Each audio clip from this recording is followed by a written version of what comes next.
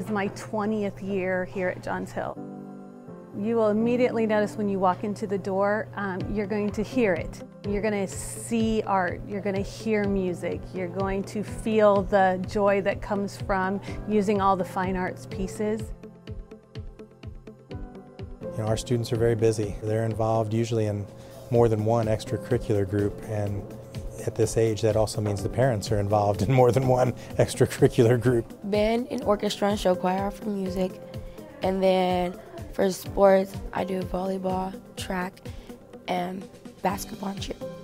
I'm in band and orchestra with Mr. Miller. I'm in track and cross country, but this year they opened up a drama club and I was in that too. We did Frozen Junior. I was Olaf. The two biggest things that are different are the fact that we house the District English as a Second Language program and then our focus on arts integration. Um, having the ESL program here is an amazing opportunity uh, around so many different backgrounds and nationalities every day. Um, and then that, that just continues to grow.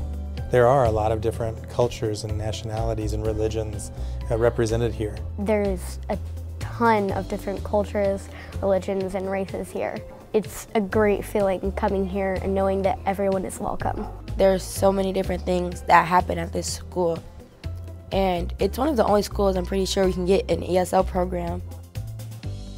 So arts integration isn't just taking an art class, it's how the teachers use a different form of art to help them teach what standard they're doing. Not just using it to help understand a language arts standard, but also learning an art standard as well. Playing just music and being in that band room brings me the joy. It just makes me happy. It's a way to just sort of calm me down.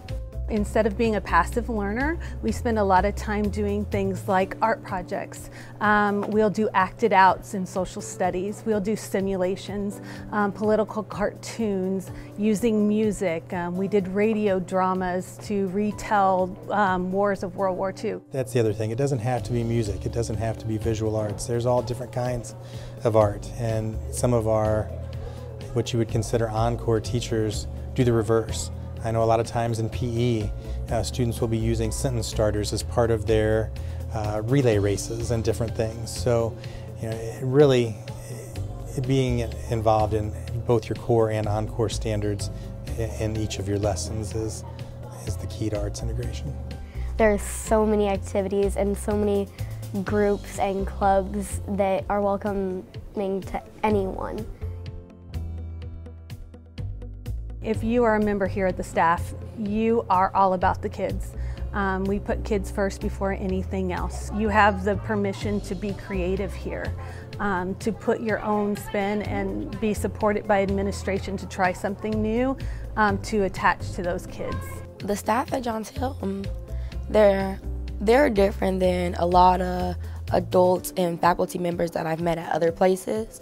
They'll help you without you even asking for help. And if they know or can tell that you need something, they're just there instantly. The staff here at Johns Hill, they're like a second family to you. Being in the classrooms and around the kids is definitely the highlight of the day, whether it be uh, stopping in a kindergarten class to be Zero the hero for the day or having lunch with you know the middle school students. It creates a culture where my child is confident, um, she's creative, through their experience, if they come through the Johns Hill program, I know for a fact that they will be prepared for high school.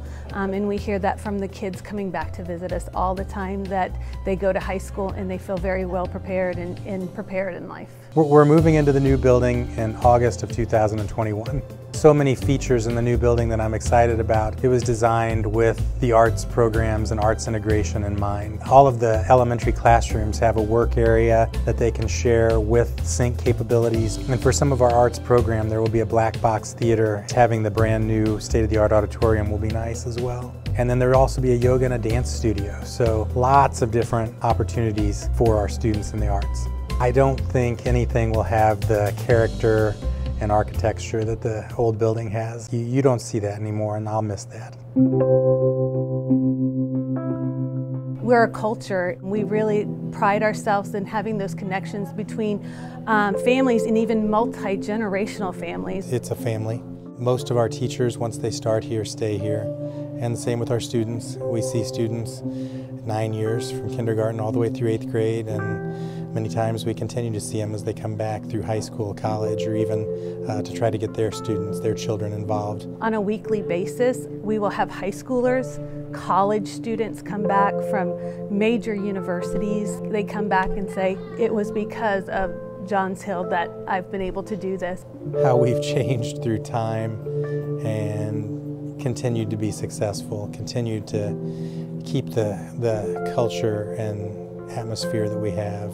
To me, that touches my heart and really wants me to keep going, but also knowing that my child, if they've gone through the same program, has a great future ahead of her as well. When you see the students pass, you're going to notice that this isn't you know what you typically see in Decatur. There's the joy um, in the education, and I think that's the magic that works. Some kids, when they first come to new schools, they don't know where to fit in, but I assure you, even if you come to Johns Hill for just one year, you will find a place to fit in.